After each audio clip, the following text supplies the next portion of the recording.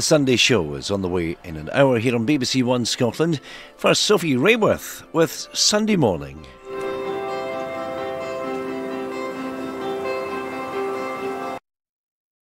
The dust has settled. New lines have been drawn after council elections across Britain and historic election results in Northern Ireland. The Conservatives have had a torrid time, but what will that mean for the Prime Minister's future?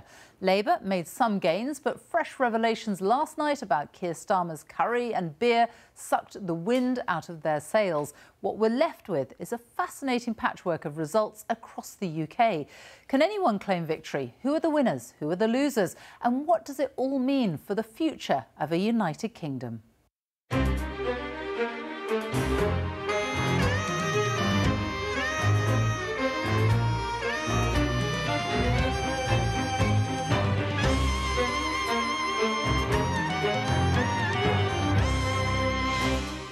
Make sense of it all this morning, I'll be joined by the Deputy Prime Minister Dominic Raab. The Conservatives lost almost 500 council seats in Great Britain. Was it midterm blues or were voters punishing the Prime Minister for lockdown parties and the cost of living? I'll be talking to Labour's Lisa Nandy. The party made big gains in London but didn't make significant progress elsewhere in England, and now they have a police investigation into their leader to contend with. The Liberal Democrats Ed Davey has a lot to smile about. His party gained more seats than any other in England. Was it a protest vote, or will he translate that success in the polls in the next general election?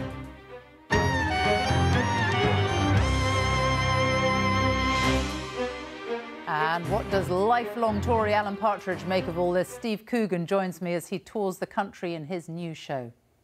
What really binds us as a nation is when we, all of us, together, can't stand something, like speed bumps or anything changing. And joining me to decode all of the results, rumblings and wranglings this morning, the Spectator's Fraser Nelson and GB News presenter and former Labour MP Gloria De Piero. But first, the news with Roger Johnson.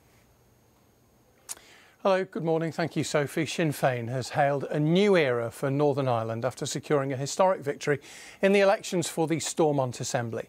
For the first time, the Nationalist Party claimed the most seats and pushed the Democratic Unionist Party into second place.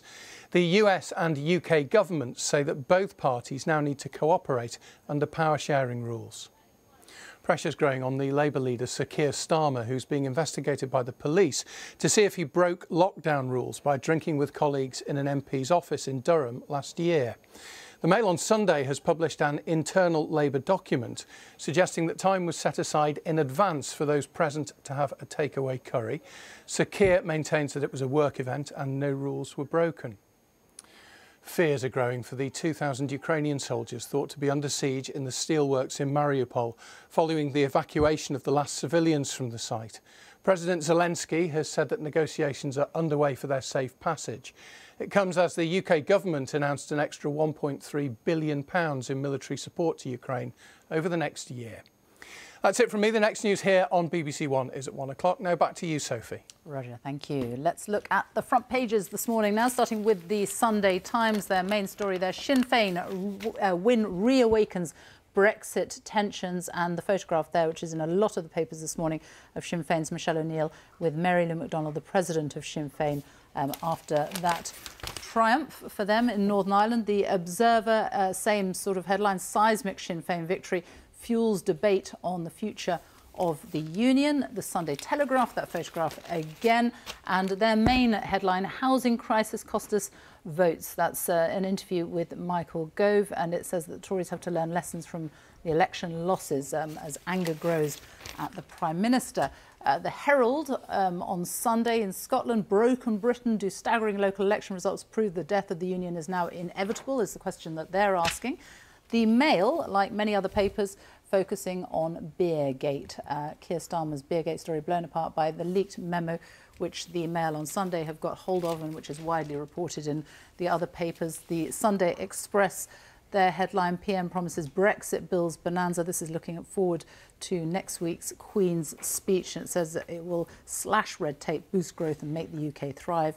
And the Mirror and the Sun on Sunday, both focusing on royal stories. Uh, Just William, this is uh, the news that the Cambridges are going to scrap protocol and use first names only on duty. And the Sun on Sunday, a photograph which um, I don't think Prince Harry will particularly enjoy. Um, but it's about what will happen when they come here for the Queen's Platinum Jubilee and Telly crew faces clamp over Jubilee. This is their Netflix uh, documentary they're filming. Will they be allowed to film any of it?